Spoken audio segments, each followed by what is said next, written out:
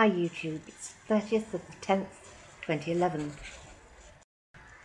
And here is a situation update on the snowstorms that are sweeping across America, across multi-states. States of New York, New Hampshire, Connecticut, Pennsylvania, Maryland, Washington DC, Indiana and New Jersey. Unfortunately there's been three deaths and 12 people injured.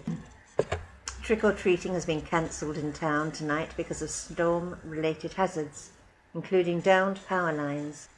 A dispatcher at the police department Raymond said they were seriously busy when, when they were reached on Sunday morning. He said no roads are currently closed, but power is out all over town. He said residents should still try and stay off the roads for the time being. With the peak hours of the storm now having passed, damage assessors have begun the next phase of restoration with a major push plan to assess damage and restore power where currently possible. Local media outlets are reporting as many as 2.5 million homes throughout the region without power following last night's historic storm. Snow totals range from 5 to 7 inches on the sea coast of New Hampshire, 12 to 15 inches in central New Hampshire, and up to 20 inches in north central Massachusetts. As of 9 a.m., an estimated 63,611 of Unitil's 103,000 electric customers' systems wide are reporting no power, down from an overnight peak of 70,000. Of those customers, 23,749 of Unitil's 28,000 customers in Massachusetts are without power, and 39,862 of Unitil's 75,000 customers in New Hampshire are without power. Now, approximately 300 crews, some as far away as Michigan, Pennsylvania and Canada, have been secured to assist with what is expected to be a multi-day restoration effort for the areas hit hardest by the storm, such as north central Massachusetts and the New Hampshire Sea Coast area. The crews provide specialised work and include line tree digger damage assessment and wires down teams. Crews worked overnight on public safety issues in coordination with municipal emergency responders while restoring power wherever possible. No estimates on restoration time are expected until the damage assessment phase of the effort is complete.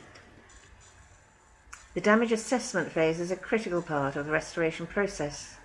The region has been struck with a major weather event and it is important to stress patience while the damage assessment is ongoing.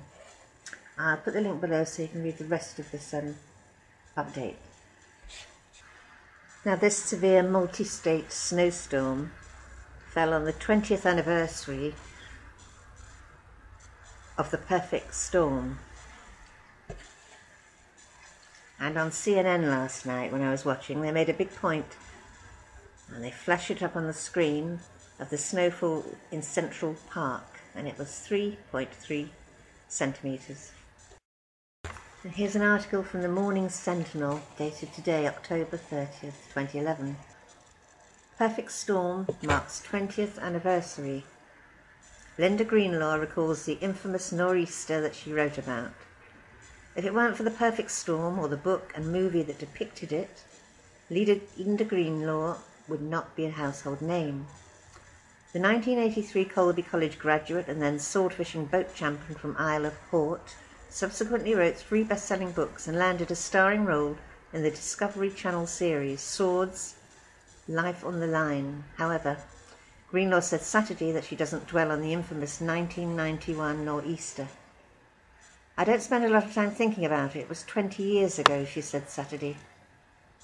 1991 Halloween nor'easter or the perfect storm as it came to be known, swept up the east coast of the United States, causing 13 deaths and leaving more than 200 million damage in its wake.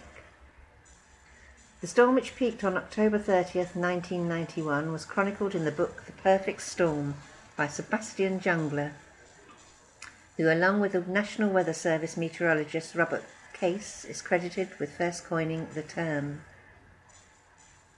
Interesting. I'll leave the link below for this as